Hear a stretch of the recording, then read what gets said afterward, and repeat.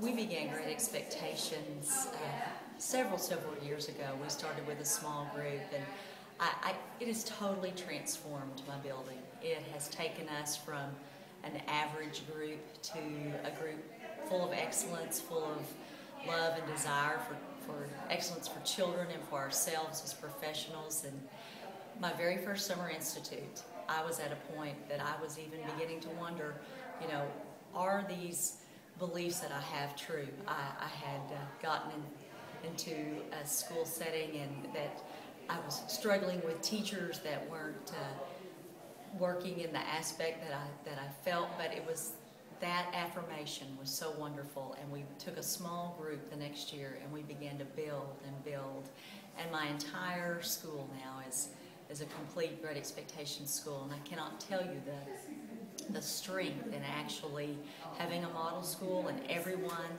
doing all the practices and having those beliefs and the tenets. And I've seen our academics raise, I've seen our API raise, our test scores, I've seen children loving to come to school.